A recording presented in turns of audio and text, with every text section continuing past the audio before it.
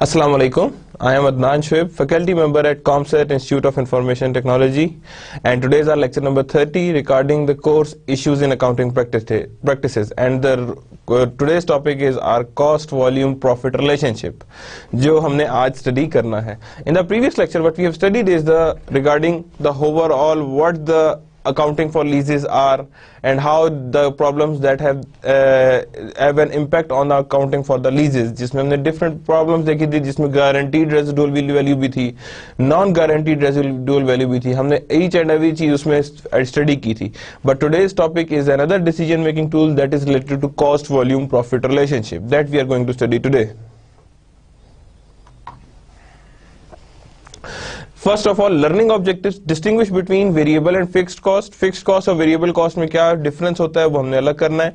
Explain the significance of relevant ranges relevant ranges क्या होती हैं? That is a new concept that we are going to study today explain the concept of mixed cost mixed cost का concept explain करने list the five component of cost volume profit analysis जो five components हो।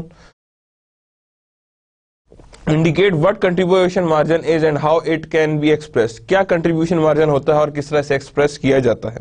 Identify the three ways to determine the break even point कि तीन ways जो होती हैं break even point की, वो आइडेंटिफाई की जाए. Given the formula for determining sales required to earn target net income that is being studied define margin of safety and give the formula for computing it कि margin of safety भी और formula for computing it that is also be there describe the essential features of cost volume profit income statement that is uh, the another thing that we are going to see कि क्या essential features exist करते हैं so these are the learning objectives First one starting with the preambles what means कि start में शुरू करें। To many to manage any business you must understand how cost respond to change in sales volume the effect of cost and revenues on profit to understand the cost volume profit you must know how the cost behave क्या आपको पता होना चाहिए कि अगर cost volume profit आपने understand करना है यू शुड नो कि कॉस्ट कैसे बिहेव करती है। और कोई भी बिज़नेस अगर आपने मैनेज करना है तो आपको यह पता होना चाहिए कि सेल्स वॉल्यूम के साथ कॉस्ट कैसे बिहेव करती है? किस क्या चेंजेस आते हैं कॉस्ट के साथ और कॉस्ट किस तरह बिहेव करती है? यानी चेंजेस इन कॉस्ट को हम कैसे अकाउंट फॉर करते हैं? Now that is our whole you can say a web of a topic cost behaviour and cost volume profit analysis cost behaviour analysis में देखेंगे कि वेरिएबल कॉस्ट क्या होती है फिक्स्ड कॉस्ट क्या होती है? Relevant range mixed cost identifying variable and fixed cost and cost volume profit analysis में क्या देखेंगे basic component CVP in income statement break even analysis target net income margin of safety changes in business environment and CVP income statement revisited we are going to see each and everything of this cost behavior analysis. Cost behavior analysis is the study of how specify specific cost respond to change in level of business activity. यानी cost behavior क्या होता है कि कैसे cost change होगी? कि आपका जैसी level of business activity change होता है कॉस्ट के बिहेवियर में क्या चेंज आएँगे? That is known as the cost behaviour analysis how the cost respond to the changes in business activities that we are going to study कि ये cost behaviour क्या होता है? Some cost changes other remains the same कुछ cost change हो जाती है, कुछ सेम रहती है throughout the life of your company लेकिन कुछ कॉस्ट जो होती हैं, वो चेंज होती जाती हैं। Help management plan operation and decide between alternative course of action ये किस लिए काम आती हैं? मैनेजमेंट को प्लान करने में हेल्प करती हैं और डिसाइड करती हैं कि क्या alternative course of action use किया जा सकता है। What type of alternative course of action that exist then applies to all type of business entities ये चीज़ सारे इस टाइप के बिज़नेस एंटिटीज पे अप्लाई होती है। यानी means to say these are the part of each and every type of business entity जिसमें ये लाए करती है। Now cost behaviour analysis starting point is the meaning measuring key business activity सबसे पहला काम क्या करना है? की बिज़नेस एक्टिविटी को मैयर करना है कि what is the key business activity that needs to be measured activity level may be express in terms of sales volume miles driven room occupancy dance classes taught means to say ये आपका क्या है? Business activity measure करने। कि आप क्या बनाते हैं? आप प्रोडक्ट बनाते हैं तो क्या मतलब होगा इसका? कि that means your product is there यानी कि ये वाला आपका जो प्रोडक्ट है, वो कोर बिज़नेस से रिलेट करता है। मैंने कितने यूनिट्स बनाए? That means my business activity will be measure by that how much dollar units of sales I have sold या कितनी सेल हुई है? कितने यूनिट्स मैंने सेल किए हैं?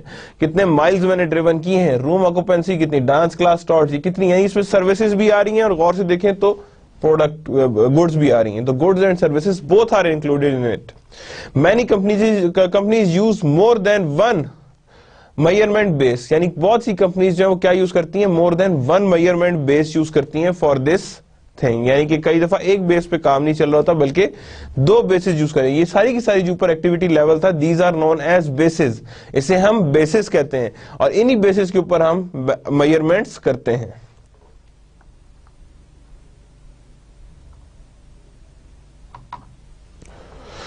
Now, cost behavior analysis continued for any activity level to be useful कोई भी एक्टिविटी लेवल है जो यूजफुल होना चाहिए चेंज इन द लेवल और volume of activity should be correlated with change in cost कहते कोई भी एक्टिविटी लेवल हो, कोई भी एक्टिविटी आप परफॉर्म कर रहे हो चेंज इन वॉल्यूम और level of an activity should be correlated with change in cost जो लेवल और वॉल्यूम में चेंज आ रहा हो, वही चेंज इन कॉस्ट नज़र आना चाहिए, यानी चेंज इन लेवल और volume of an activity should be correlated with the change in cost यानी कि चेंज इन लेवल या volume should be correlated with the change in cost यानी change in business activity should be correlated with change in cost ज़ाहिर बात है, एक business में कोई चीज़ चेंज ला रहे तो या तो कॉस्ट ज़्यादा होगी या कम होगी। It never being able to remain constant वो चीज़ हमें पता होना चाहिए कि यहाँ पे कोरिलेशन स्ट्रांग होना चाहिए। अगर मैं अपनी बिज़नेस एक्टिविटीज़ कम कर रहा हूँ तो मेरी कॉस्ट भी कम होनी चाहिए। ना कि मेरी कॉस्ट ज़्यादा हो जाए। तो that that should be measured और that should be taken care the activity level selected is called activity और वॉल्यूम इंडेक्स जो भी एक्टिविटी सिलेक्ट की जाएगी, उसे कहा जाता है एक्टिविटी या वॉल्यूम इंडेक्स। क्या कहा जाता है उसे? एक्टिविटी या volume index. Activity index identifies the activity that causes changes in behaviour of cost. वो एक्टिविटी जिसकी वजह से बिहेवियर ऑफ़ कॉस्ट में चेंजेस आए। बिहेवियर ऑफ़ कॉस्ट चेंज हो जाए। तो उसे हम कहते हैं that is known as activity index यानी that activity which can influence the cost behaviour जो कॉस्ट बिहेवियर में इन्फ्लुएंस कर सके। तो उसे हम कहते हैं that is known as activity index allows costs to be classified according to their response to change in activity as either यानी allow करता है cost to be classified यानी cost को classify करता है according to their response to changes in activity as whether variable cost fixed cost and mix mixed cost वो कहता है ये अलाउ करता है कॉस्ट को कि वो क्लॉस को क्लासिफाई कर दिया जाए कि whether variable cost is there fix cost is there और मिक्स्ड कॉस्ट इज़ देयर यानी कि यहाँ पे क्या होगा कि हर कॉस्ट का डिफरेंट बिहेवियर होगा with change in business activity यानी जब आप बिज़नेस एक्टिविटी का या एक्टिविटी इंडेक्स में कोई चेंज आएगा तो वो बताएगा कि हर तरह की कॉस्ट जो है, वो डिफरेंट लेवल पे चेंज होगी. हर तरह की कॉस्ट सेम चेंज नहीं शो करेगी. There is a different change वहाँ पे चेंज डिफरेंट होगा. Now, variable cost, first talking about the variable cost, cost that varies in total directly and proportionally with the change in activity level. वो cost जो पूरी की पूरी आपकी production या चेंज इन एक्टिविटी लेवल के साथ चेंज हो जाए, उसे हम कहते हैं वेरिएबल कॉस्ट यानी कंप्लीट चेंज शो करे with the change in activity level कि जैसे जैसे एक्टिविटी लेवल में चेंज आ रहा है वैसे वैसे वेरिएबल कॉस्ट भी चेंज शो करेगी. For example if the activity level increases by ten percent cost also increases by ten percent that means it's a variable cost जो directly correlated to your activity level और उतना ही change show कर रही है जितना के ओवरऑल एक्टिविटी में होना चाहिए. Then examples are if the activity level decreases by 25%, the total variable cost decreases by 25%. Now you can say that the same thing. यहाँ पे दोनों चीज़ें बराबर की हैं variable cost remains constant per unit at every level of activity यानी कि variable के कॉस्ट क्या रहेंगी that remains constant per unit for every level of activity means to say क्या आपने कहा जी ये मेरे पास वन यूनिट जो है वो हंड्रेड रुपीज़ का बनता है। तो दो यूनिट जब बनाएँगे तो कॉस्ट कितनी हो जानी चाहिए? टू हंड्रेड रुपीज़ होनी चाहिए। तो वो यही कह रहा है कि variable cost remains same for यानी अब दोनों के लिए हमने क्या अज्यूम किया? दोनों के लिए हंड्रेड रुपीज़ ही लग रहे हैं बनने के लिए। अब एक्टिविटी हमने बढ़ा दी है वन टू टू कर ली थी तो इसका मतलब है एक्टिविटी कॉस्ट जो है वो भी पर यूनिट सेम आ रही है। उसमें चेंज नहीं आ रहा। That per unit cost remains the same at every level of activity कि हर लेवल ऑफ़ एक्टिविटी में ये आपके पास वेरिएबल कॉस्ट सिमिलर आती है। Then further variable cost example Damon company manufacture 10 radios that contains dollar 10 clock यानी कि उसने क्या किया? Manufacture that contains dollar 10 clock ये रही there it is and activity index is the number of radio purchase यानी आपकी बेस क्या है? Number of radio purchased. For each radio produced, the total cost of uh, clock increases by 10%. यानी कि इसका मतलब है कि जैसी वो एक यूनिट और बढ़ाएगा वन यूनिट ऐड करेगा तो टेन डॉलर एडिशनल एडअप हो जाएँगे that going to be increase if 2000 radios are made the total cost of the clocks is 20000 2000 into dollar 10 and if 10000 units are made the total cost of the clock is 100000 because 10000 multiplied by dollar 10 so that means that is going to be a known as your variable cost ये सारी example क्या है variable cost की और देखें तो ये directly proportion है प्रोपोर्शनेट हो रही है कि जैसे ही आपकी रेडियो की अमाउंट बढ़ रही है उसकी क्लॉक की कॉस्ट भी इंक्रीज करती जा रही है। तो that is what we known as your radio clock यानी ये कहलाती है वेरिएबल कॉस्ट ये रेडियो क्लॉक की वेरिएबल कॉस्ट है। ना वेरिएबल कॉस्ट के ग्राफ कैसे होते हैं? ये देखें, यहाँ पे जो टोटल वेरिएबल कॉस्ट है, वो हमेशा इस तरह रहती है। याद रखिएगा कि जैसी एक यूनिट बढ़ाता जाऊँगा, मेरी वेरिएबल कॉस्ट भी सेम प्रपोर्शन से बढ़ती जाएगी।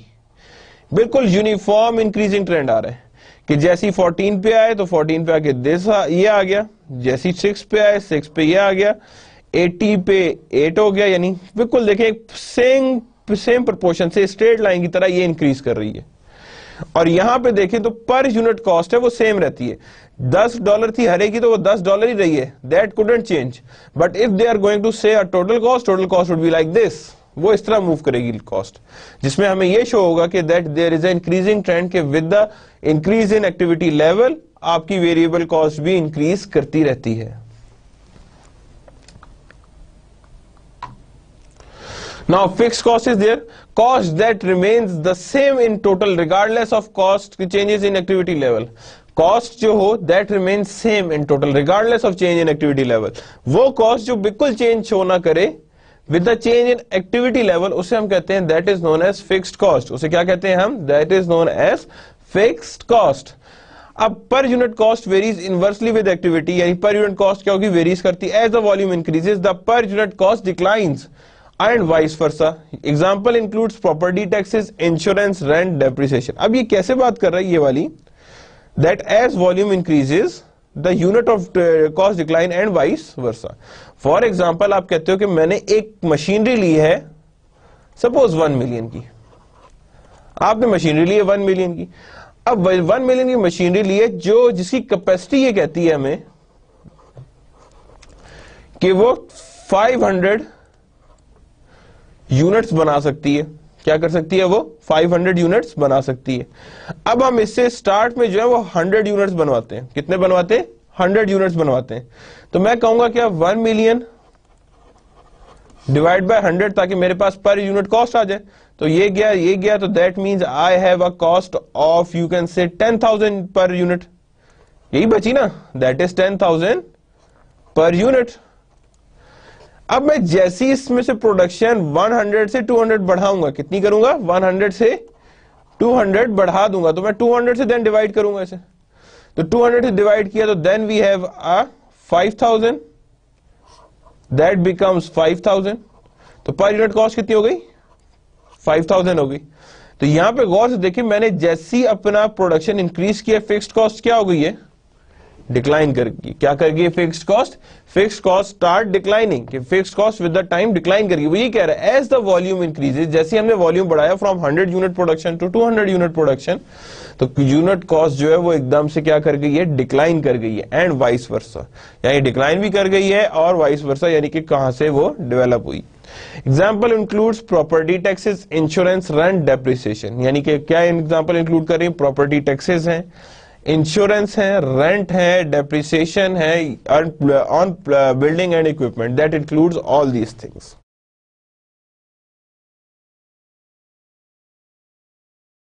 Now, there is a fixed cost. Further example, Diamond Company leases its productive facility for $10,000 per month.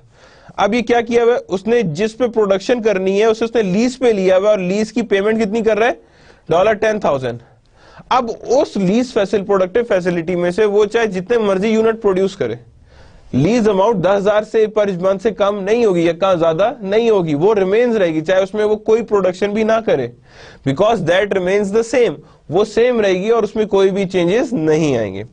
Total fix cost of the facility remains constant at all level of activity that is dollar ten thousand per month on per unit basis, the cost of rent decreases as activity increases and vice versa.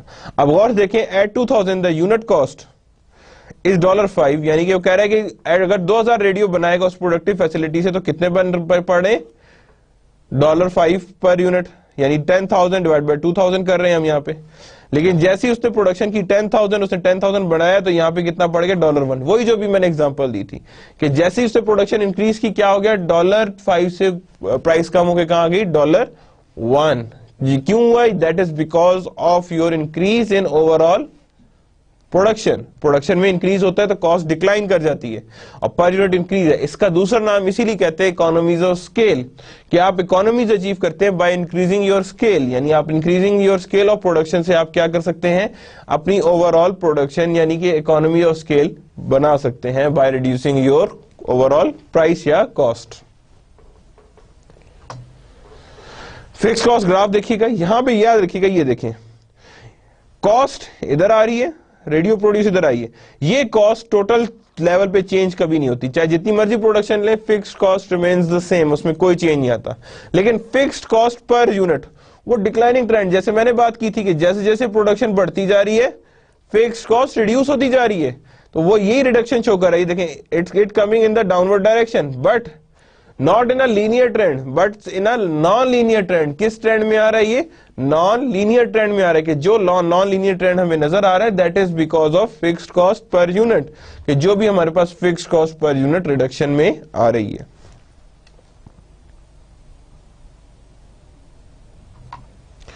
Now here is a review question so you have a more clear variable costs are the costs that varies in total directly and proportionality with the change in activity level यानी जो पूरी vary कर जाए remains the same per unit at every activity level neither of above both जारी बात हमने यही पढ़ा है दैट ये भी इंक्लूड होता है, ये भी इंक्लूड होता है। तो that to combines to form D so D is there तो D is there for the valuation. So, that is known as your overall variable cost. These are the characteristics of the variable cost that exists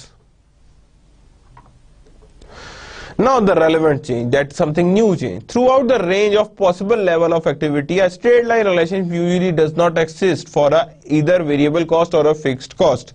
वो कहता है जितना भी relevant range है यानी जितनी भी हमारे पास प्रोडक्शन की रेंज है पॉसिबल रेंज है एक्टिविटी लेवल की उसमें स्ट्रेट लाइन रिलेशनशिप नहीं एग्जिस्ट करता है फॉर इधर वेरिएबल कॉस्ट और फिक्स्ड कॉस्ट नॉर्मली इनके बीच में कभी भी स्ट्रेट लाइन का रिलेशनशिप एग्जिस्ट नहीं करता। जैसे हमने फिक्स कॉस्ट का देखा दैट्स अ नॉन लीनियर उस तरह ही वेरिएबल कॉस्ट का रिलेशनशिप भी एग्जिस्ट करता है। वेरिएबल नॉन लीनियर का मतलब क्या होता है? That means it's not a straight line बल्कि it's just a curvy nature इसी क्या आ रही है? Curvy नेचर आ रही है। The relationship between variable cost and change in activity level are often curvilinear curvilinear means that would be like a curve it could be like this यानी straight line नहीं आ रहा, बल्कि कर्व आ रहा है। For fix cost the relationship is non linear it could be non linear non linear भी कुछ कुड बी इधर लाइक दिस और इधर लाइक दिस तो वो हमारे पास आ जाएँगी non linear some fix cost will not change over time over the entire range of activity while other fix cost में चेंज यानी कुछ जो है वो चेंज हो जाएँगी over the range of activity but कुछ फिक्स कॉस्ट नहीं चेंज होंगी that remain the same so that means there is a relationship that exist in form of curvilinear and non linear these relationship normally exist in a case of fixed cost and variable cost किस किस case में? Fixed cost and variable cost में ये दोनों चीज़ें exist करती हैं। Relevant ranges graph आ गए देन अगेन यहाँ पे देखें, ये भी होता है कर्व लीनियर शेप इसे कहते हैं। ये देखें जिस तरह आ रही है it's like S shape you can say it's like S shape ऊपर आ रही है। और टोटल फिक्स कॉस्ट भी देखें it could be non linear because इसका मतलब ये होता है कि अगर मैं इसे ज्वाइन करना चाहूँ तो ये ये कुछ ऐसी ज्वाइन होगी। तो इसे हम नॉन लीनियर कहते हैं because it is not remain the same ये स्ट्रेट लाइन नहीं है यू करके। बल्कि it's just connecting with each other with each other and with each other and with each other तो that means it's a total fix cost और variable cost हमेशा क्या trend show करती है? कर्व लीनियर क्यों show करती है? Because start में यहाँ तक आपकी कॉस्ट बढ़ रही होती है then it start increasing increasing and then it goes in the upward direction यानी यहाँ तक जो शो कर रही है, उसे हम कहेंगे increasing with decreasing trend increasing with decreasing trend इस पोर्शन को कहेंगे यूनिफॉर्म है। और इस पोर्शन को कहेंगे increasing with increasing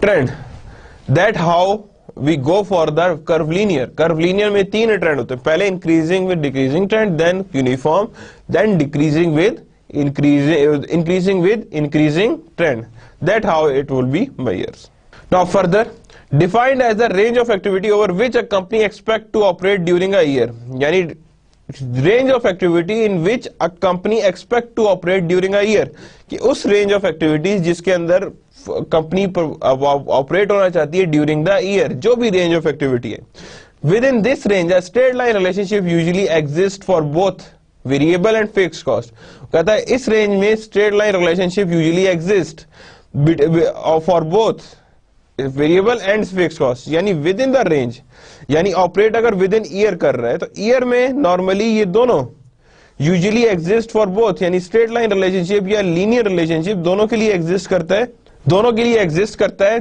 for straight line relationship for expect during a year यानी विद इन वन ईयर और शॉर्ट रन में स्ट्रेट लाइन रिलेशनशिप एग्जिस्ट कर सकता है।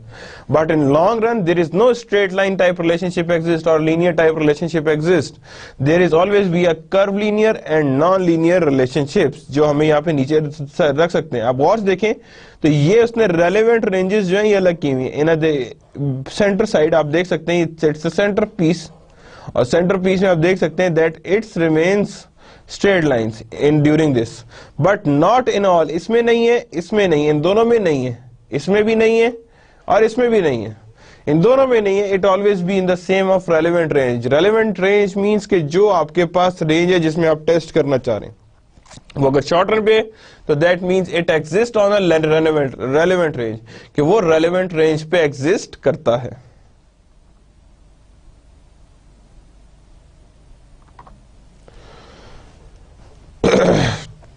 Now here is a review question the relevant range is the range of activity in which variable cost will curve linear the range of activity in which fixed cost will uh, will will be linear and the range over which the company expect to operate during the year usually from zero to hundred यानी वो range जिनके अंदर company ने expect करना है कि वो operate होगी ड्यूरिंग द ईयर तो answer would be C because वो यहीं पे हम लोग पिछले में भी यही बात कर रहे थे ना कि दैट उस उस रेंज में जिसमें कंपनी एक्सपेक्ट करेगी कि मैं इसमें ही रन होंगी ड्यूरिंग द ईयर कि ड्यूरिंग द ईयर मैं इसी के अंदर वर्क करूँगी। तो that means that's a range over which the company expect to operate during the year कि कंपनी एक्सपेक्ट करती है कि वो इसी रेंज के अंदर ऑपरेट करेगी ड्यूरिंग द ईयर कि ड्यूरिंग द ईयर जो भी रेंज होगी वो इसी के अंदर ही ऑपरेट करेगी।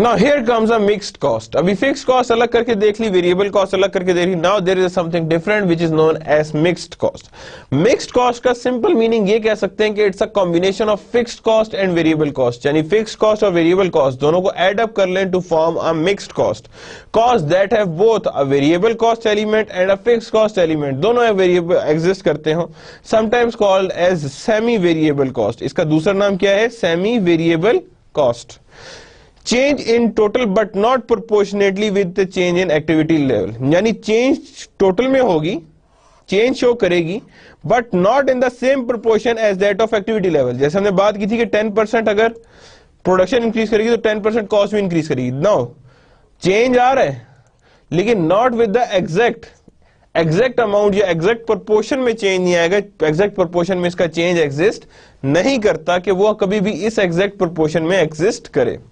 आप गौर से देखें तो राइट साइड पे वो जो डायग्राम दी हुई उसे देखें आप, कि ये जो शो कर रहा है, अब एक एक कॉस्ट है, वो कह रहा है, एक कॉस्ट को शो करना है, उसने कहा जी, ये 50 डॉलर है, ये उसके अंदर फिक्स्ड कॉस्ट है। कितना है?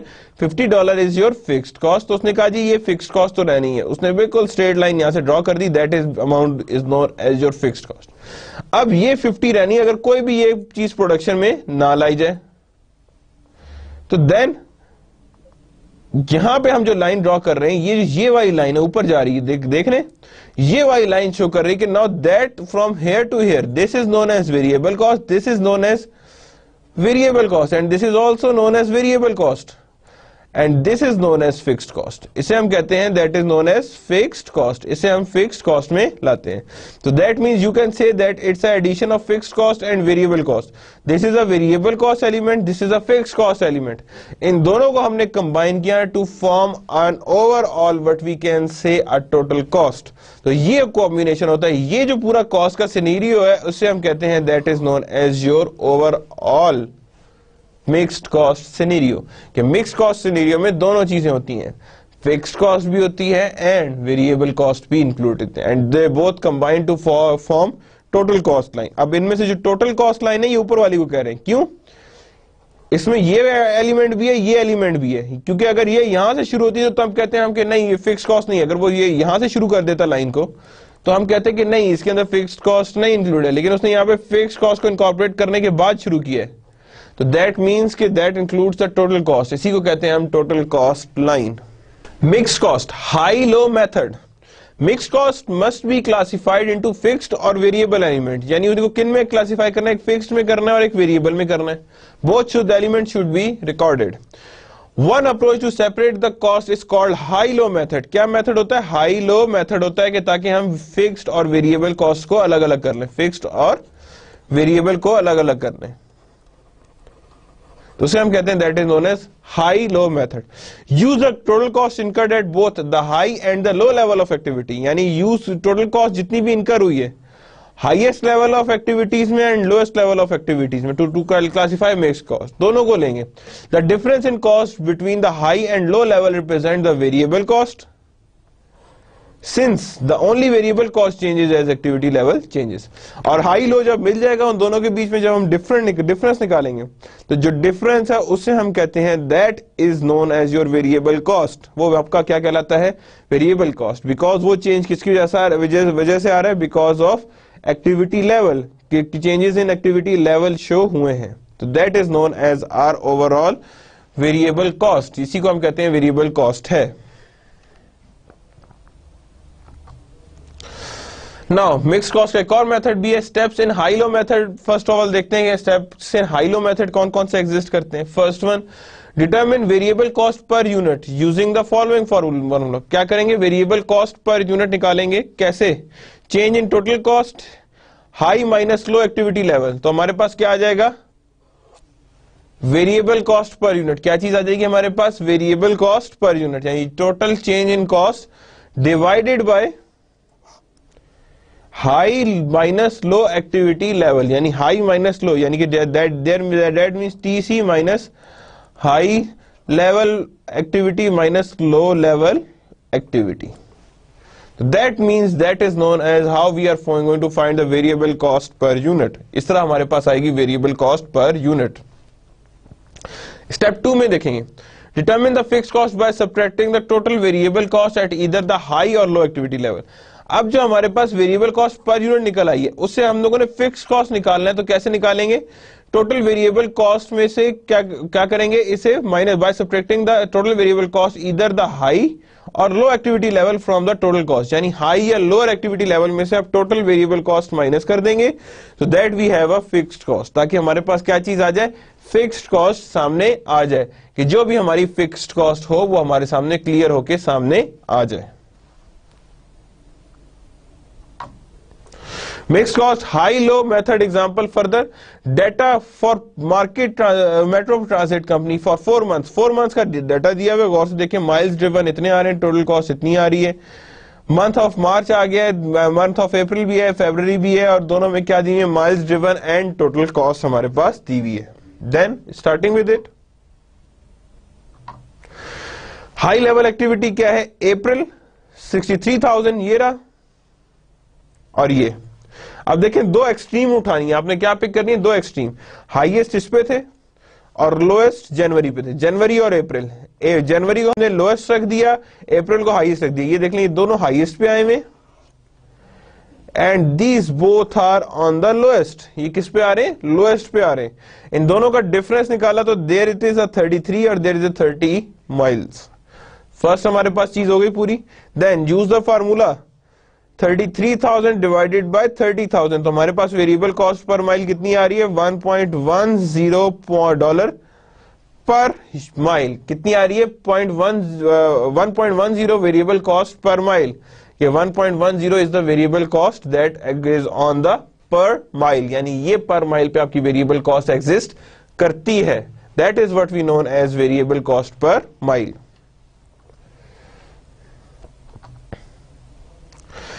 Step 2, first of all, determine the fixed cost by subtracting the total variable cost at either the high low high or low level of activity from total cost at same level. अब यहाँ पे हमारे पास क्या है high level कितना था activity का that is 63 lower 30,000 variable cost कितनी आ रही है गौर से देखिएगा यहाँ पे 50,000 एंड 20,000 अब मैंने क्या किया ये टोटल हमारे पास टोटल कॉस्ट आ रही थी इसमें से मैंने वेरिएबल कॉस्ट को अलग किया और इसमें से मैंने वेरिएबल कॉस्ट को अलग किया। इन दोनों को जब नेगेटिव किया तो मेरे पास आंसर आया 8000 इधर भी मेरे पास आंसर क्या आ रहा है? 8000 मींस टू से in both cases my variable fix cost remains the same अभी क्या था? 63000 हमारे पास टोटल कॉस्ट थी। हमने ये निकाला था वेरिएबल कॉस्ट पर यूनिट कितना तो निकाला था वो? 1.10 उसको मैंने नंबर ऑफ़ यूनिट से मल्टीप्लाई किया तो मेरे पास यहाँ पे इसका आ गया वैल्यू और इसकी वैल्यू आ गई। इन दोनों को जब मैंने सब्ट्रैक्ट किया तो दोनों में आंसर क्या आ रहा है? Eight thousand and eight thousand यानी दोनों में यही यही नंबर आ रहा है।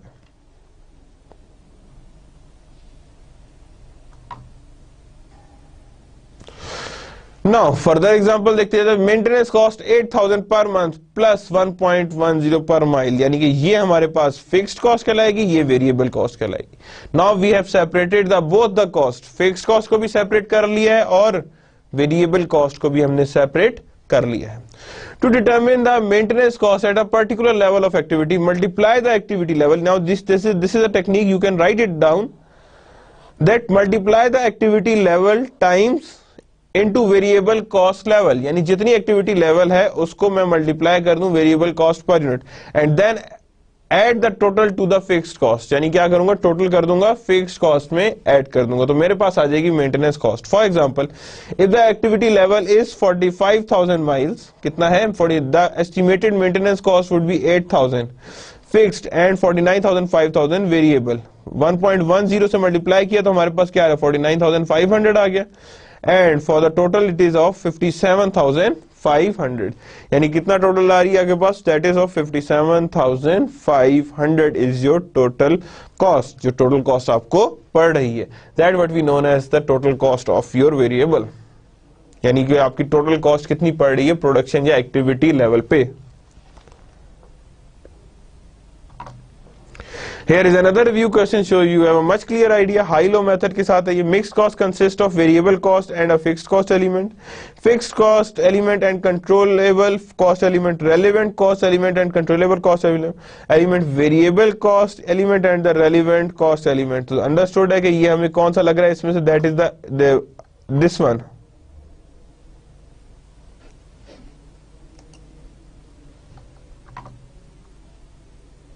that is a variable cost element and a fixed cost element इन दोनों कंबाइन करते हैं तो हमारे पास क्या आ जाता है? मिक्स्ड कॉस्ट आ जाती है। क्या आ जाती है हमारे पास?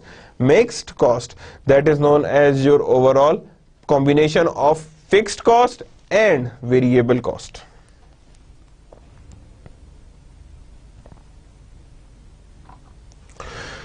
now moving towards the cost volume profit analysis किसकी तरफ़ अब आ रहे हैं हम? That is about the cost volume and profit analysis study of the effect of change of cost and volume on a company profit यानी कि जो चेंजेस आ रही हो किस किस चीज़ में? कॉस्ट में और वॉल्यूम में। और उससे क्या इफ़ेक्ट आ रहा है कंपनी प्रॉफिट में?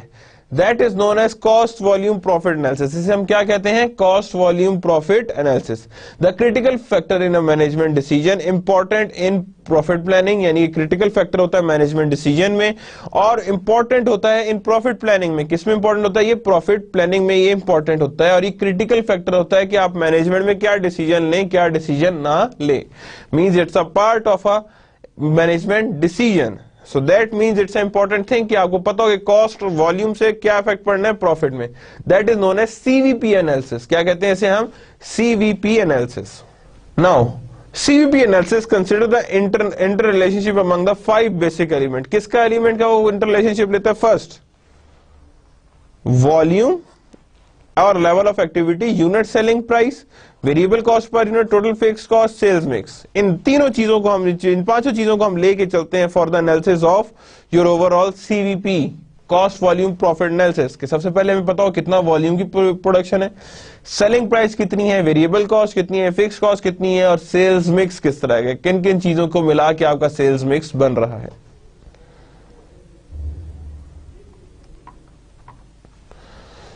Now assumptions underlying the CVP analysis के सीवीपी एनालिसिस के अंदर क्या क्या assumptions अंडरलाई करती हैं?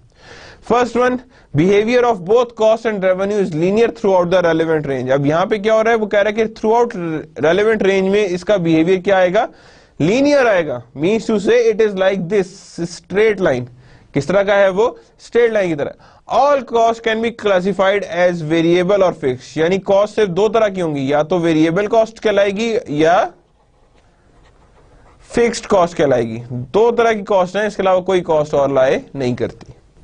Changes in activity are only factor that affect cost सिर्फ़ और सिर्फ़ एक्टिविटी लेवल है जो पूरी की पूरी कॉस्ट में डिक्रीज ला सकता है या इंक्रीज ला सकता है। इसके अलावा कोई और चीज़ नहीं है जो आपकी कॉस्ट को डिफरेंट डिफ्रेंशिएट करे या आपकी कॉस्ट को चेंज करे। All units produce should be sold ये ज़रूरी है कि जितने यूनिट हम प्रोड्यूस करेंगे that needs to be sold हम ये नहीं कहेंगे कि जो पढ़े that all units produced are sold यानी हमने अज्यूम कर रहे हैं कि जो ही प्रोडक्शन होगी वो हर सूरत बिकेगी ही बिकेगी। That is our assumption in the case of CVP analysis ये हमें हमारे पास अजम्पन होनी लाजमी है कि जो भी प्रोडक्शन हो रही है उसने बिकना ही बिकना है। When more than one type of product is sold, the sales mix will remain constant. अगर वो कहते हैं कि अगर more than one type of product sale की जाए तो सेल्स मिक्स जो है वो कांस्टेंट रहता है। क्या होता है? सेल्स मिक्स रिमेन्स कांस्टेंट यानी कि अगर हमारे पास सपोज़ शूज़ भी हैं बैग्स भी हैं चॉकलेट्स भी हैं, हमने सारे सेल्स करने तो मैं इन सारों को कंबाइन करके एक मिक्स बनाऊँगा। और उस मिक्स को लेके मैं चलूँगा, और वो मिक्स जो है, वो हमारा हमेशा कांस्टेंट रहेगा। That mix of ours remains constant कि जिसमें कहूँगा अच्छा ठीक है, दस जो है दो शूज़ की पेयर ले लो, पाँच बैग ले लो, दस चॉकलेट ले लो। तो that means ten five seventeen that is the seventeen is my sales mix ये मेरे पास सेल्स मिक्स है, जिसके अंदर बैग्स भी हैं शूज़ भी हैं चॉकलेट्स भी हैं. Everything is included in it now here is a review question. Which of the following is not involved in CVP? Sales mix, unit selling price, fixed cost per unit and volume or level of activity. So now that's a question. Which one is not there?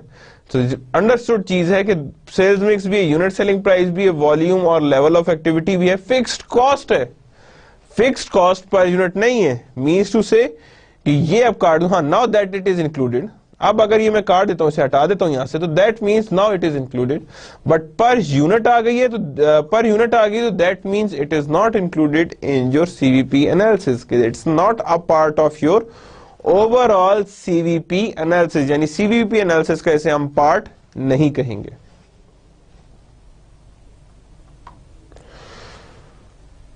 Now CVP income statement कैसे बनती है, किस तरह बनती है, उसके अंदर एक नई टर्म इंक्रीज इंट्रोड्यूस होती है, जिसे हम कहते हैं कॉन्ट्रीब्यूशन मार्जिन क्या कहते हैं उसे हम? Contribution margin a statement for internal use CVP income statement हमेशा इंटरनल यूज़ के लिए रखी जाती है। Classified cost and expenses at fixed and variable क्या करता है उसमें?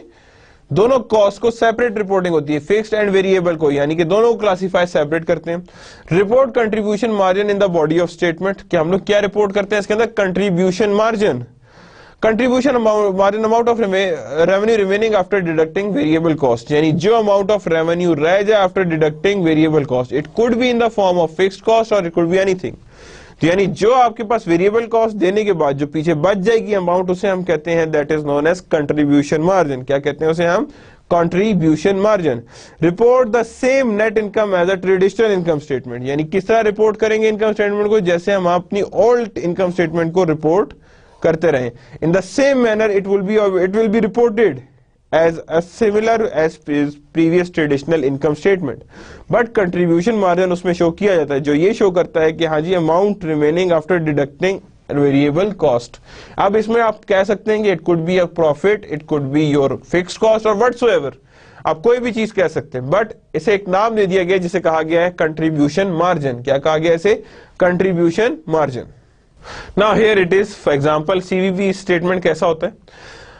वार Vargo video company produces DVD player relevant data क्या अब यहाँ देखें यूनिट सेलिंग प्राइस दी हुई है उसने यूनिट वेरिएबल कॉस्ट है टोटल मंथली फिक्स कॉस्ट है यूनिट सोल्ड यानी वो सारी की सारी ऑलमोस्ट चीज़ें दी हुई हैं।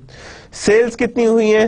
Sales that is of 1600 DVD players तो टोटल कितनी हुई है? 8000 तो पूरी की पूरी कितनी आ रही है? 500 आ रही है। वेरिएबल कॉस्ट कितनी पड़ेगी? 1600 की तो हम लोग मल्टीप्लाई कर देंगे। वेरिएबल कॉस्ट है दैट इज़ ऑफ़ 300 तो हम लोग क्या करें? 480000 डिवाइडेड बाय 1600 तो ये हमारे पास 300 आ जाती है। That means 800,000 minus 480 that leads to the 320 320 यहाँ पे आ रही है 200 का यहाँ पे डिफरेंस आ रहा था। 200 is your known as contribution margin that is known as contribution margin और जब मैंने इसे मल्टीप्लाई किया है किससे? 1600 से। That would be multiplied by 1600 the answer would be like this fixed cost minus की तो हमारे पास क्या चीज़ आ गई है? Net income that is how the CVP income statement structures यानी इस तरह का स्ट्रक्चर होता है सीवीपी स्टेटमेंट का. यानी सीवीपी स्टेटमेंट हमेशा इस तरह वर्क करती है और इसी तरह वो अपने सारे चीज़ें कन्फाइन करती है और कंबाइन करके एनालिसिस प्रोवाइड करती है regarding cost volume profit now contribution margin per unit contribution margin is available to cover fix cost and contribute to income यानी वो दोनों चीज़ों को इंक्लूड करता है।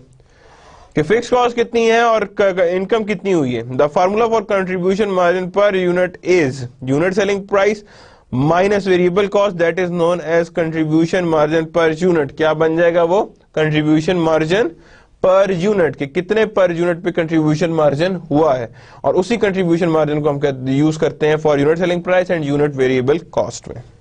CVP income statement CM effect contribution margin effect कैसे आता है? गौर से देखें तो वही पुरानी वाली एग्जांपल ऊपर टॉप पे देखें, लगी हुई है सेल्स 1000 और डीवीडी प्लेयर है। कितने डीवीडी प्लेयर है 1000 है। वेरिएबल कॉस्ट थ्री है तो थ्री आया तो यहाँ पे कंट्रीब्यूशन हमारे टू हंड्रेड थाउज़ेंड आया टू हंड्रेड थाउज़ेंड आया फिक्स्ड कॉस्ट निकाल दी तो हमारे पास इनकम स्टेटमेंट कुछ नहीं बची ज़ीरो बची, कोई इनकम स्टेटमेंट नहीं बची। मीन्स टू से कंट्रीब्यूशन मार्जिन में से पहले आपने क्या रिकवर करनी है? दैट इज़ फिक्स्ड कॉस्ट किसको पहले रिकवर करना है? फिक्स्ड कॉस्ट को रिकवर करना है, उसके बाद ही कुछ देखना है कि व्हाट इज़ देयर एंड क्या हो रहा है। नाउ फर्दर देखें सेल्स अब एक डीवीडी प्लेयर ज़्यादा हो रहा है एज कंपेयर टू अब वन कि एक हज़ार एक डीवीडी प्लेयर से, सेल हुए तो कितना हो गया? Five five hundred and five hundred five hundred thousand and five hundred five hundred वहीं पे है three thousand and three hundred वहाँ पे आ रहा है contribution margin two hundred thousand two two and two hundred है। और उसमें से जब टू हंड्रेड थाउज़ेंड आपने फिक्स कॉस्ट माइनस की तो टोटल कितना आ गया हमारे पास? That is overall net income ये हमारे पास इनकम आ जाएगी। मीन्स टू से कंट्रीब्यूशन मार्जिन आपको बताएगा कि आपने कितनी सेल करनी है कि आपको फिक्स कॉस्ट के बाद इनकम शुरू हो जाए। और वही आपको गाइड करेगा कि कितनी आपको अपनी लेवल ऑफ़ सेल्स रखनी है।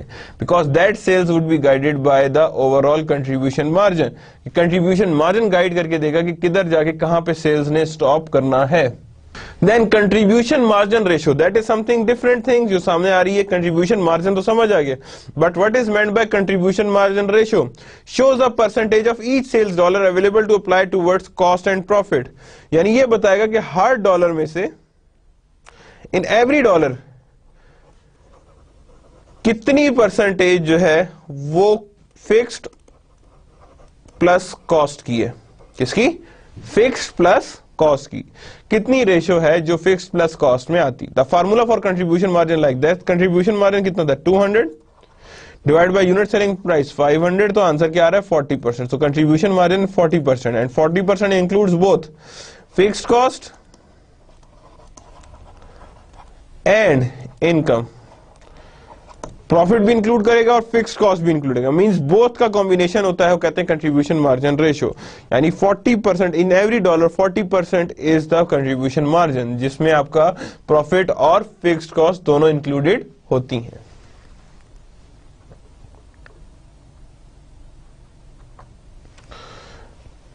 Now ratio helps to determine the effect of change in sales in net income यानी रेशियो किस काम आती है? ओवरऑल डिटरमिन करती है the effect of change in sales on net income यानी सेल्स कितनी चेंज हो रही है तो उसका इफ़ेक्ट नेट इनकम पे कितना आएगा?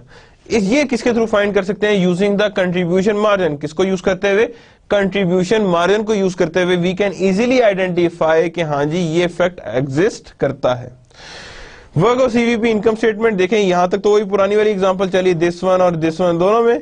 यहाँ पे देखें तो क्या हुआ? यहाँ पे वो कह रहा है कि विदाउट चेंज नो चेंज कोई चेंज नहीं आएगा तो यहाँ पे विद चेंज कितना हो रहा है? 600 आ गया 360 आ गया 240 आ गया 200 एंड 400 यानी यहाँ पे हमने दो अलग अलग किए हैं। एक में कि कोई चेंज लेके आ रहे हैं, यानी आपकी एक्टिविटी लेवल चेंज हो रहा है, वहाँ पे एक्टिविटी लेवल हमारा चेंज नहीं हो रहा। बट कंट्रीब्यूशन मार्जिन कितना हो गया फोर्टी परसेंट फोर्टी थाउज़ेंड कितना आ गया forty thousand is your contribution margin और sorry net net net income contribution margin is two forty thousand and two hundred per unit और ये हमारे पास आएगी net income that is known as our net income now here is a review question contribution margin is revenue remaining after deducting variable cost कितना revenue रहता है after deducting the variable cost may be expressed as contribution margin per margin per unit is selling price less cost price less sold and both A and B. अब यहाँ पे देखना है कि that which one is the right one? D, because पहली बात क्या थी? Is revenue remaining after deducting variable cost? That becomes a definition. और ज़रूरी क्या था कि शायद ये भी हो सकता है कि वेरिएबल कंट्रीब्यूशन मार्जिन को पर यूनिट के हिसाब से शो किया जाए। किस हिसाब से शो किया जाए?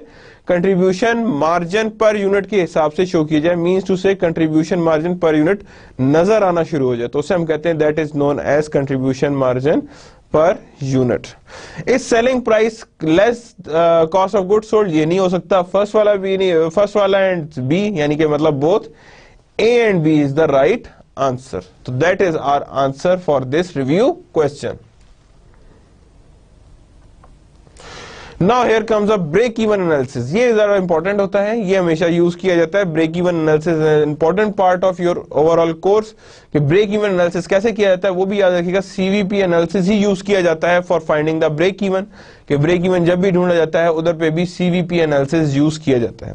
Process of finding the break even point break even point find करते हैं कहाँ, कौन से ऐसे पॉइंट पे जाए जहाँ पे हमारे पास नो प्रॉफिट नो लॉस की सिचुएशन आ जाए।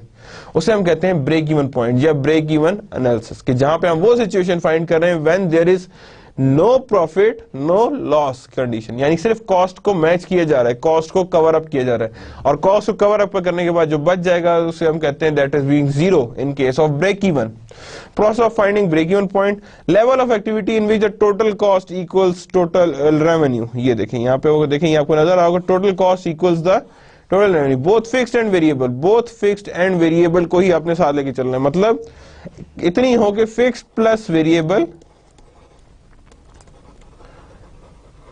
equals revenue किसके इक्वल हो जाए वो? रेवेन्यू के इक्वल हो जाए। कैन बी कंप्यूटेड और drive from mathematical equation mathematical equation से कंप्यूट की जा सकती है ड्राइव की जा सकती है।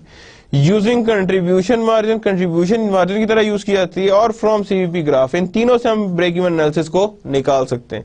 या तो कंट्रीब्यूशन या मार्जिन यूज़ किया जाए, या मैथमेटिकल इक्वेशन यूज़ की जाए, या सीवीपी के ग्राफ यूज़ किए जाए। To find out the break even analysis express इधर इन सेल्स यूनिट और सेल्स डॉलर, दो तरह से होता है, या तो सेल्स यूनिट की तरह से आता है या सेल्स डॉलर की तरह होता है। यानी कि वो दोनों तरह से, इन यूनिट ही ब्रेक इवन पॉइंट फाइंड करेगा इन डॉलर ही ब्रेक इवन पॉइंट को फाइंड करेगा।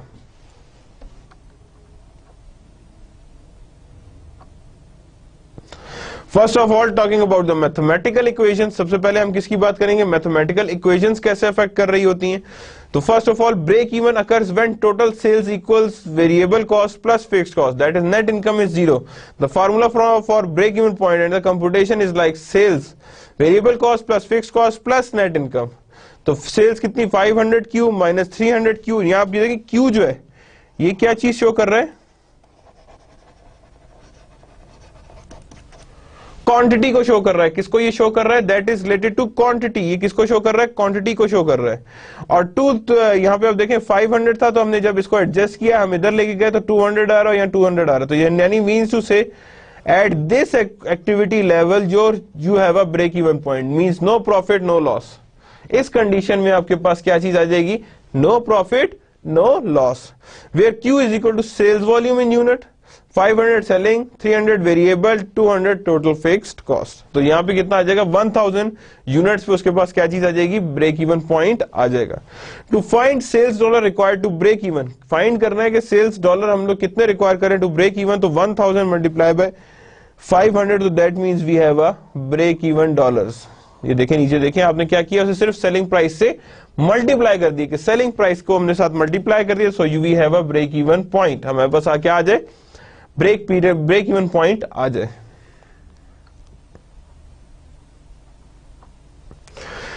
Break even analysis, contribution, margin, technique. किस किस तरह से कंट्रीब्यू अब देखें पहले भी हमने पढ़ ली थी, पहली वाली टेक्निक, अब दूसरी है, contribution, margin, technique. At a break even point, contribution, margin must equal to fix cost. किसकी इक्वल हो जाए वो? फिक्स कॉस्ट की इक्वल हो जाए। तो इसका मतलब contribution margin is equal to total revenue minus total cost because ये कंट्रीब्यूशन मार्जिन होता है। The break even point can be computed इधर कंट्रीब्यूशन मार्जिन पर यूनिट और कंट्रीब्यूशन मार्जिन रेशियो यानी आप कोई भी यूज़ कर सकते हैं। इधर you can use a contribution margin per unit और कंट्रीब्यूशन मार्जिन रेशियो बोथ से आंसर सेम आएगा सिमिलर आएगा। तो it's up to you whether what you want to use इधर कंट्रीब्यूशन मार्जिन पर यूनिट और contribution margin ratio Now, further contribution margin technique, when a BEP, break even point in unit is desired, contribution margin per unit is used to, far, to, uh, to find the following. यानी वो कह रहा है जब break even point in unit desired हो, contribution margin per unit is used to uh, in the following which shows the computation of V क्या है fix cost divide by contribution margin per unit तो हमारे पास आ जाएगी break even point in unit कि मेरे पास अगर फिक्स कॉस्ट ही पता है, मुझे कंट्रीब्यूशन मार्जिन ही पता है तो मेरे पास आ जाएगी ब्रेक इवन पॉइंट क्या चीज़ आ जाएगा मेरे पास? Break even point when break even point in dollar is decided the contribution margin ratio is used कि जब भी हमारे पास क्या होगा ब्रेक इवन इन डॉलर चाहिए तो कंट्रीब्यूशन मार्जिन रेशियो चाहिए. यानी that means 200,000 divided by 40,000 that means 5 lakh dollars. Means to say contribution margin unit कब यूज़ होगा? जब आपने ब्रेक इवन इन यूनिट्स निकालना है। और अगर आपने ब्रेक इवन इन डॉलर्स निकालना है तो आप कंट्रीब्यूशन मार्जिन रेशियो यूज़ करेंगे। That is the difference that exist in a contribution margin technique किसमें एग्जिस्ट करता है ये? कंट्रीब्यूशन मार्जिन टेक्निक में ये चीज़ एग्जिस्ट करती है कि how the contribution margin techniques very among the cases of contribution margin per unit and contribution margin ratios तो इन दोनों में उसकी यूजेज डिफरेंट है। One is specifically for the unit amount and other one is specifically for the dollar amount की। कितनी भी dollar amount है वो सामने नज़र आए। ना ब्रेक इवन एनालिसिस की ग्राफ प्रेजेंटेशन करेंगे कि कैसे इसका ग्राफ बनता है, किस तरह बनता है। First, the cost volume profit graph shows cost and volume and profit used to visually find the break-even point. To construct, plot, plot the total sales starting at zero activity level, plot the total uh, fixed cost using a horizontal line, plot the total cost line, start from the fixed cost line at zero activity, determine the break-even point and intersection of total cost and total sales point. ये रहा हमारे पास आ गया break-even point. क्या किया गौर से देखिएगा sales line zero से ड्रॉ किए देर इट इज़ यहाँ से ड्रॉ करके ऊपर ले गए। और ये हमारे पास आई है टोटल कॉस्ट बिकॉज़ यहाँ पे हमने कहा जी, ये हमारे पास फिक्स्ड कॉस्ट है, इन दोनों को ऐड किया तो हमारे पास क्या आ रही है? That is our total cost अब जहाँ पे आपका ये सेल्स और टोटल कॉस्ट मीट कर रहे हैं this point this point it is known as your break even point और इसी को हमने क्या किया? ब्रेक इवन इन डॉलर्स निकाल लिया जितनी भी अमाउंट आ रही थी। अब इससे ऊपर जो भी जाएगा, इन दोनों में जितना गैप बढ़ता जाएगा, जितना गैप बढ़ता जाएगा, वो सारा गैप क्या कहलाएगा? That is your additional profit क्या कहलाएगा? ये आपका एडिशनल प्रॉफिट कहलाएगा। और इसी को हम लोग यूज़ करेंगे। और that is known as your break even in units and break even in dollars so we have find out through graphical presentation कि आप ग्राफिकल प्रेजेंटेशन के थ्रू भी ये चीज़ आइडेंटिफाई कर सकते हैं कि that how does it works Now here is another review question.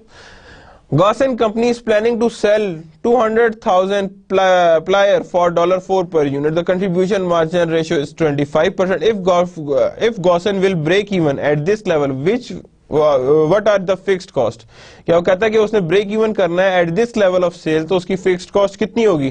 तो द आंसर वुड बी 200,000 कैसे निकला 200,000 बिकॉज़ वो प्लानिंग टू सेल है at dollar four per unit four per unit के हिसाब से उसे सेल कर रहा है। तो कह रहे कि what is it's fix cost तो फिक्स कॉस्ट उसी हिसाब से उसने आइडेंटिफाई कर ली है। That is of 200,000 now there is an other thing that is known as targeted net income कि मैं कहूँ, मेरी टारगेट है कि मैंने इस दफ़ा एक लाख की इनकम कमानी ही कमानी है, या पचास हज़ार की इनकम कमानी ही कमानी है, या दस हज़ार की इनकम कमानी ही कमानी है। एनीथिंग दैट इंक्लूड्स कोई भी चीज़ इसमें से इंक्लूड होगी तो उसे हम कहेंगे that is known as target net income क्या कहेंगे इसे हम? Target net income that includes level of sales necessary to achieve a specified income कितनी इनकम स्पेसिफाइड इनकम की? नहीं, मैंने इस बिज़नेस से हर सूरत बीस हज़ार रुपए कमाने हैं। तो that mean that is your targeted net income can be determine from each of the approach use the following यानी ये भी हमारे पास तीनों अप्रोच से कोई से भी हो सकता है। मैथमेटिकल इक्वेशन यूज़ कर सकते हैं कंट्रीब्यूशन मार्जिन यूज़ कर सकते हैं या सीवीपी के ग्राफ भी यूज़ कर सकते हैं। It could be anything through which we can find these things expressed इधर इन सेल्स इन यूनिट और सेल्स इन डॉलर इसमें भी आंसर दोनों तरह से आएँगे। देखिए, हमने जब स्टार्ट में किया था तो हमने क्या किया था? यहाँ पे हमने कहा थी selling price minus variable cost minus contribution margin और इनकम रखी हुई थी, जो हमने स्टार्ट में भी फार्मूला पढ़ा था। तो अगर हमने जहाँ पे इनकम ज़ीरो रखी थी, हम क्या करेंगे? वहाँ पे अब इनकम ज़ीरो ही रखेंगे, बल्कि टारगेटेड नेट इनकम रखेंगे। क्या रखेंगे हम? टारगेटेड नेट इनकम रखेंगे फॉर द एनालिसिस कि ताकि हमारे पास एनालिसिस हो सके। तो that includes the targeted net income now here is a mathematical equation जो हमने पढ़ी थी। अब यहाँ पे याद करें ब्रेक इवन के लिए हमने इस पॉइंट पे ज़ीरो रखा था। और बाकी हमने कैलकुलेशन वही थी। अब यहाँ पे हमने ज़ीरो नहीं रखा, बल्कि क्या रख दिया? टारगेटेड नेट इनकम और हमारे पास आंसर हज़ार से कितना हो गया सोलह सो हो गए। और बाकी वही सारी नोटेशन यूज़ हो रही हैं एज इट इज़ और रिक्वायर्ड ये था using the formula of break even point simply include the desired net net income break even point में क्या चीज़ इंक्लूड कर देते हैं? डिजायर्ड इनकम इंक्लूड करते हैं एज अ फैक्टर किस तरह इंक्लूड कर लेते हैं कि एज अ वो कोई फैक्टर है जहाँ पे ये चीज़ यूज़ हो रही है। That means it's a factor that is being used now the contribution margin technique to determine the required sales in unit for Virgo अब क्या कर रहे हैं? Desired number of sales in unit fix cost plus net income divided by contribution margin per unit तो हमारे पास क्या सोलह सौ यूनिट और जब दूसरा चाहिए fix divide by contribution margin ratio तो हमारे पास क्या आ जाएगा? That is of sales in dollar यानी हमारे पास सेल्स इन यूनिट भी आ गई है और क्या चीज़ आ गई है? साथ ही सेल्स इन डॉलर जो मैंने पहले डिफरेंस आपको बताया था कि डिफरेंस कैसे एग्जिस्ट करता है, कि आप कहते हैं एक में कि that means it's based on your contribution margin per unit और दूसरे में हम कहेंगे कि contribution margin ratio is there यानी contribution margin per unit and contribution margin ratio these both things are included in it यानी ये दोनों चीज़ें ही यूज़ की जाती हैं. For finding the desire targeted income and to finding the break even points ये बोथ कंडीशन में ये दोनों टेक्निक्स यूज़ हो सकती हैं Now here is another review question so you have a clear idea of what it is. The mathematical equation for computing required sales to obtain target net income is equal to required sale equals to variable plus targeted, variable plus fixed plus targeted net income, fixed cost plus targeted net income. No answer is given. So B is the right one. Variable cost plus fixed cost plus targeted net income that is known as your required sale because required sale क्या है आपने target net income रखनी है ना तो जब आप cost को एक तरह से आप targeted net income को क्या treat कर लेते हैं as a cost treat कर लेते हैं कि ये आपकी तो आपके लिए एक तरह से cost बन जाती है कि हाँ जी that is now being cost that must be earn इसका मतलब क्या हुआ कि आपने ये must earn करना है so that's why it is the option B break even analysis margin of safety now there is something that is known as margin of safety that is also being included in break even analysis difference between actual or express uh, express sales and sales at break even point यानी actual और expected sales में जो difference आएगा that is known and sale at break even point और तो इनके बीच के differences हैं, उनको हम लोग अलग कर लेंगे। Maihar the question that management has if the expected sales fails to materialize ये मार्जिन रखना पड़ता है, अगर एग्जिस्टिंग सेल्स जो है, या expected sales fails to materialize हो जाए। May be express in dollar और in ratios determine the margin of safety in dollar for Virgo assuming that the actual expected sales are seven fifty thousand तो यहाँ पे देखें तो actual expected sales आ गई है ब्रेक इवन सेल्स आ गई। दोनों को डिफरेंस निकाला तो क्या आ गया? Margin of safety in dollar इसे हम कहते हैं that is known as margin of safety कि एक्सपेक्टेड कितनी थी? 750 ब्रेक इवन कितनी थी? 500 the difference is known as your margin of safety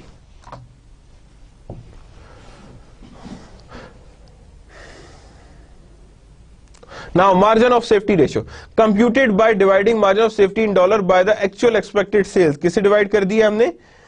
Actual or expected sales to determine the margin of safety ratio for Virgo assuming that the actual sales is sales 750,000 तो margin of safety कितना निकला 250,000 divided by expected sales तो हमारे पास margin of safety कितना आ रहा है that is 33 percent ये हमारे पास क्या चीज़ कहलाएगी that is our margin of safety the higher the dollar or the percentage the greater is the margin of safety यानी जितना higher the dollar और percentage जितनी ज़्यादा percentage होगी उतना ही margin of safety ज़्यादा है यानी means to say higher the uh, percentage higher will be the margin of safety.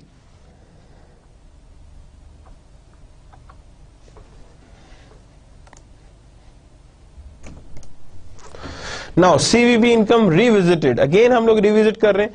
Virgo video company CVP income statement for the month ended June 30 2010 total आ रहा है हमारे पास सेल्स वेरिएबल एक्सपेंसेस अलग कर लिए टोटल वेरिएबल एक्सपेंसेस अलग कर लिए कंट्रीब्यूशन मार्जिन अलग कर लिए फिक्स एक्सपेंसेस अलग हैं, जिसमें कौन कौन से आ रही cost of good sold fix expense आ रहा है selling expense admin expense and then यानी दोनों केसेस में कंट्रीब्यूशन मार्जिन अलग कर लिए हैं फिक्स एक्सपेंसेस अलग कर लिए variable cost of good sold में भी कुछ फिक्स होते हैं, कुछ वेरिएबल होते हैं। कुछ सेलिंग्स में भी कुछ फिक्स होते हैं, कुछ वेरिएबल होते हैं। एडमिनिस्ट्रेटिव में भी कुछ फिक्स होते हैं, कुछ वेरिएबल होते हैं। So net income is one 20,000 तो पर यूनिट कितना है 500 and 300 that equals to 200 Here is a review question, so you have more clear about the topic. Marshall Company has an actual sales of 600,000 when break-even sales is 420,000. What is the contribution safety? तो अब क्या करेंगे इसमें हम लोग exact वही जो previous में हमने method use किया था उसी को use करेंगे and the answer would be thirty percent कितना आंसर है इसका? Thirty percent by just by dividing you have a clear idea कि वो किस तरह हो रही है। Then there comes are variable costing के वेरिएबल कॉस्टिंग को कैसे मेजर करना है? Under variable costing only direct material direct labour and variable manufacturing overheads are incurred यानी वेरिएबल कॉस्टिंग में सिर्फ़ ये आते हैं। For product cost company recognise fixed manufacturing overheads as period cost when incurred तो यानी क्या होगा यहाँ पे? Product cost fix manufacturing overhead period cost ये वेरिएबल कॉस्टिंग है ये एब्जॉर्प्शन कॉस्टिंग है दो these things are known as in variable costing techniques now we have illustration so we have a clear idea कि how the variable costing works assume that premium product corporation manufacturing a poly uh, uh, polyurethane uh, sealant called fixate for car windshield relevant data for fixed rate in January 10 2010 the first month of production are as follows selling price 20 dollars per unit unit कितना है produce थी 30000 sold 20000 beginning inventory zero variable unit cost manufacturing 9 selling admin 2 so that is included in it fixed cost manufacturing overhead 120000 selling and admin expense 15000 यानी manufacturing overhead कितना है 120000 Or selling and admin expense 15,000 these in things are included in variable costing. So first of all direct material कितना है? Absorption में 531 यानी ये same चल रहा है per unit production of fixed यही आ रहा है हमारे पास. Then direct material direct labour variable overhead यानी तीनों चीज़ें five three one absorption cost and variable cost fix overheads आए फोर डॉलर आए ज़ीरो आए. फोर कैसे आए? नीचे देखें तो यहाँ पे एक आपको नज़र आ रहा होगा hundred one twenty thousand divide thirty thousand unit ताकि हमारे पास क्या आ गए? यहाँ पे फिक्स्ड मैन्युफैक्चरिंग ओवरहेड्स आ गए। और जो वेरिएबल कॉस्टिंग में नहीं थे that doesn't include in variable costing जो वेरिएबल कॉस्टिंग का पार्ट नहीं थे तो these things are in not included in the very fixed manufacturing overheads तो हमारे पास टोटल कितना आ रहा है? Thirteen absorption costing variable costing four यानी ये हमारे पास डिफरेंसेस एग्जिस्ट कर रहे हैं based on this data each unit sold and each unit remaining in inventory is costed at dollar thirteen under absorption costing and nine under variable costing affect of variable costing on net income के net income का variable costing variable costing का net income भी क्या effect आता है? Let's see that is income statement sales दी हुई है cost of goods sold है इन्वेंट्री है कॉस्ट मैन्युफैक्चर्ड दी हुई है। अवेलेबल फॉर सेल भी गिवन है. Inventory on January thirty first भी गिवन है. कॉस्ट ऑफ़ गुड सोल्ड जो है वन फोर्टी थाउज़ेंड है. Gross profit is there selling admin fifty five thousand and income from operation हमारे पास आ रही है. That is eighty five thousand that is the effect of variable costing on income affect of variable costing on income further देखें तो यहाँ पे आ रही, देखें inventory January one ten thousand unit into nine ninety thousand आ गया तो overall देखें इनकम फ्रॉम ऑपरेशन चेंज होगी। पिछले में कितना था? थर्टीन था, उसमें टेन थाउज़ेंड इंटू थर्टीन किया था because that is use for the absorption costing कि वहाँ पे क्या चीज़ यूज़ हो रही थी कि एब्जॉर्प्शन कॉस्टिंग कितनी है? Effect of variable costing on income variable costing का इनकम पे क्या इफ़ेक्ट पड़ता है? Summary of the effect on income from operation income from operation के observation costing equals to the variable costing circumstances क्या है जी? कि जितने टूथब्रश बनाए गए हैं, उतने ही सेल किए गए तो एब्जॉर्प्शन और वेरिएबल कॉस्ट सेम है। लेकिन अगर जितने बनाए गए उससे कम सेल किए गए तो याद रखिए एब्जॉर्प्शन कॉस्टिंग ज़्यादा होगी वेरिएबल कॉस्टिंग कम होगी। और अगर जितने बनाए गए हैं, वो कम है सोल्ड ज़्यादा है तो that mean absorption costing lower होगी वेरिएबल कॉस्टिंग ज़्यादा होगी। तो इसका मतलब क्या हुआ कि थर्ड ऑप्शन तो मोस्टली नहीं एग्जिस्ट कर सकती बट फ़र्स्ट टू ऑप्शन ये आपको बता देंगे कि इक्वल कब हो रहा है और एब्जॉर्प्शन कॉस्टिंग ज़्यादा कब हो रही है। So these things are included in the effect of variable costing on income that is known as your overall system rationales for variable costing where variable costing के पीछे रीजन क्या है? किस रीजन के ऊपर ये बनती है? The purpose of fix manufacturing cost is to have a productive facility available for use कि फिक्स मैन्युफैक्चरिंग कॉस्ट ये बताता है कि you have a productive facility available for use the use of variable cost is acceptable only for internal use by management the use of variable costing तब तक acceptable है जब तक इंटरनली इसे यूज़ किया जाए बाय मैनेजमेंट यानी इसे कौन यूज़ कर रहा है? मैनेजमेंट यूज़ कर रही है। So that's the end of our lecture number 13 and today we have studied the cost volume profit analysis and fixed cost, variable cost, mixed, uh, mixed cost, then absorption costing and your variable costing. We have studied that further. We have also studied break-even analysis, desired target net income. So these are the top uh, topics we have concluded with it. So that's the end of the today's lecture, lecture number 13. Allah Hafiz.